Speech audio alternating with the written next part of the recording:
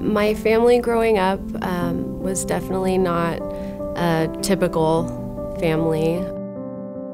My parents were divorced when I was six months old, and my mother lost custody of us when I was five um, due to her mental illness.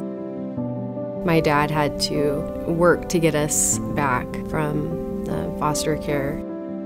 So it was stressful and emotionally challenging, but always knew that I would be okay. My relationship with my mother dramatically changed when she stopped taking her medication. It was kind of just a snowball effect. Shortly after Christmas, my mom was found she was dead. She had, um, they said, had a massive heart attack. After my mom passed, I felt a sense of strength I hadn't felt in years. So I decided to go back to school.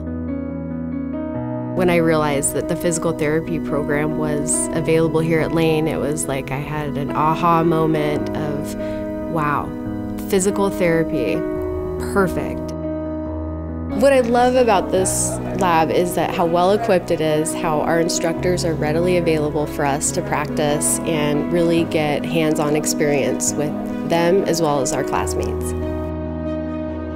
I never felt so much support than I did here at Lane. I'm, I'm so glad that I decided to come and be a student at Lane Community College.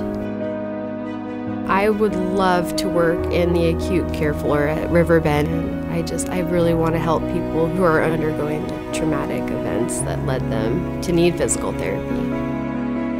I know that my mom would be so proud of me today, that she would, she knows how hard it, you know, my life has been and how far I've come. Even in her non-lucid states of mind, I think that she would be very happy for me for following my dream and doing what I needed to do to take care of myself and my children. I'm so appreciative to have that support, to know that people care enough to invest in me. It means so much.